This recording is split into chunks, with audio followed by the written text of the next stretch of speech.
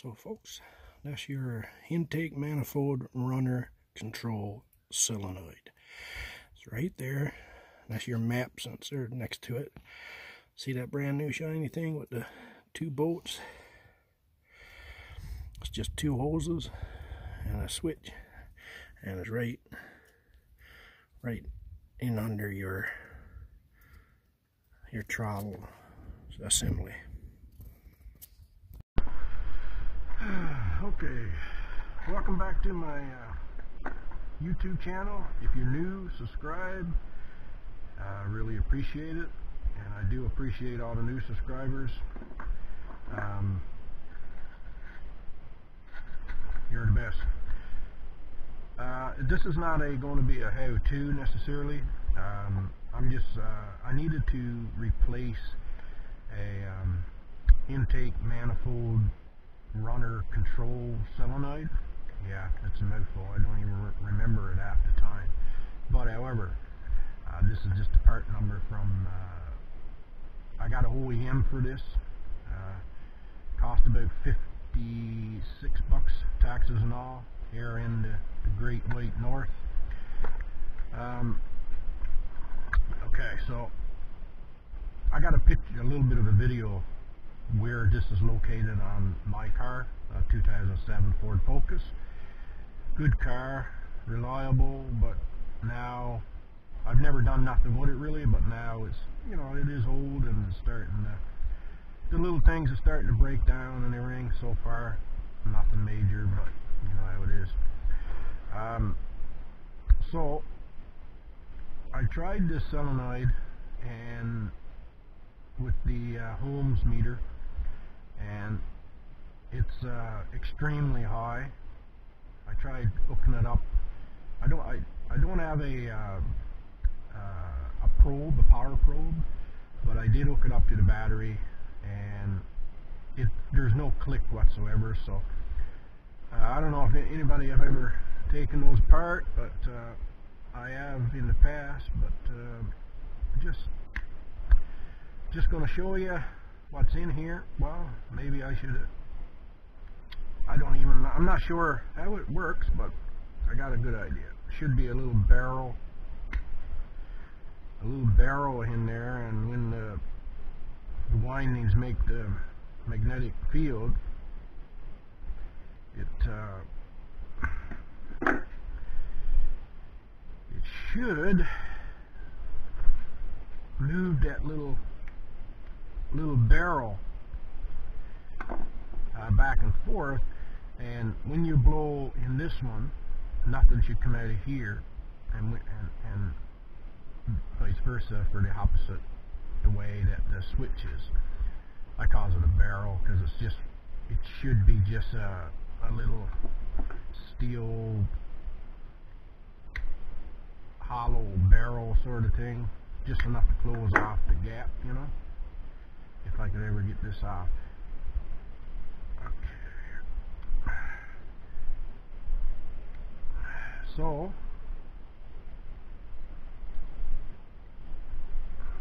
come on don't be different I'm not worried about breaking this thing. It's just I didn't want to tear everything to pieces and not have anything to something like that. Anyway, so there's a whole ring. Right, that goes. Hopefully you can see that. I'm not used to wearing this uh, GoPro, but that O-ring goes on there. I'll keep that O-ring. Actually, it looks in good shape. Right, and then that goes there. and you got this should be able to come up yeah and you got another O-ring at the bottom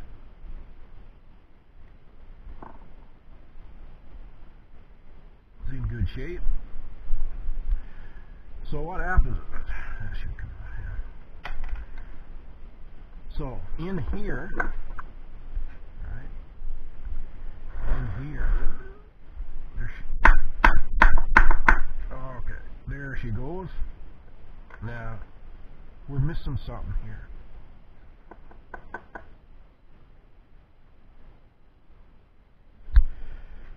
we're missing something that probably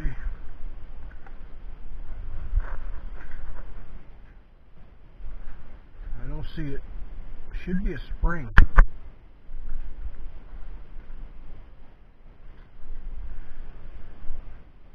Uh, yeah there should have been a spring.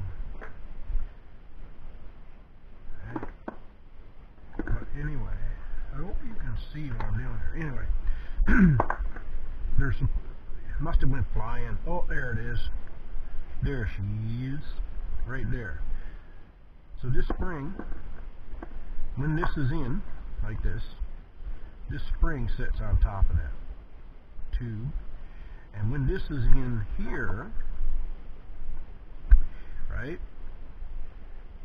this is, when this be's energized, just picture this like this. And this is on top, right? So this energizes. You got the vacuum hoses, right? This energizes at the right time, and this is going to be in like that. So this is here. It's going to energize. It's going to push it out and push it back. That's the that's the the little ticking that you'll hear. Right? The, the magnetic field pulls us back in this tube. Plastic goes over here, and then that's how it works. This tube, this little barrel thing here is going to go back and forth in here, so it's down here. So when it's like this, it, it blocks off the air from going here, right? And it'll come out here, like whatever way it, it operates, right? I don't know because I couldn't energize it. But uh, since it's see it's hollow, right? So it fits down in this tube, which you can't see, but inside there's a tube that goes inside of here. And a little rubber piece on both ends. So when this is sucked down, it's going to seal against that rubber tube, and nothing is going to come out of here. It's going to come out of here. And then when this is pushed forward, then the vacuum can suck from here and come out, suck it out of here, which is going to activate activate your uh, the plunger, diaphragm on your actuator, which turns the swirl flaps inside the, the damn intake manifold, which gives us nothing but trouble. So that's how that works, folks. If you uh, ever, I might. Uh, uh, keep keep the springs and everything. Um, but the rest is garbage. I might keep this up. Uh, you never know when you need a little, um, you know, hose for connecting two vacuum lines. You know, I've used them before. So uh, yeah, but that's it. Uh, the Ford part is so that's all there is to a, a solenoid. And uh, like I say, if you wanted to uh, test it, you just hook up a 12 volt to the thing and you should hear a snap. A click, click, click. Uh, now it don't mean if you don't hear a click that it's it's totally bad, but that'll give you a good indication. Um, you know, if it is. And if you hook the Ohms meter up and uh, you get a very high res uh, very high resistance for this particular one I was told I'm not no electrician so uh, maybe uh, maybe Mike at uh, Grampy's workshop.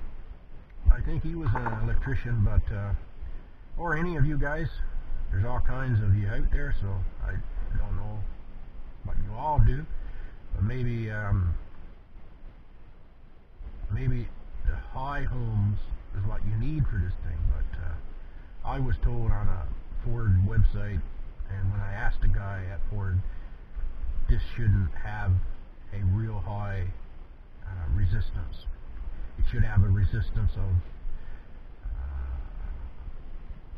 anywhere from 5 to 20, I believe he said.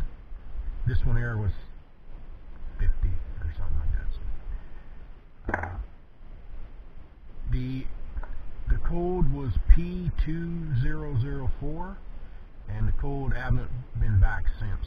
I, I don't know how long it would take. It used to come on pretty fast when you clear the code, but it's been a few days and it hasn't come on. So, folks, that's it. It's not a how-to. It's just more of a, a curious video, curious George video. Anyway, guys, thank you so much for subscribing.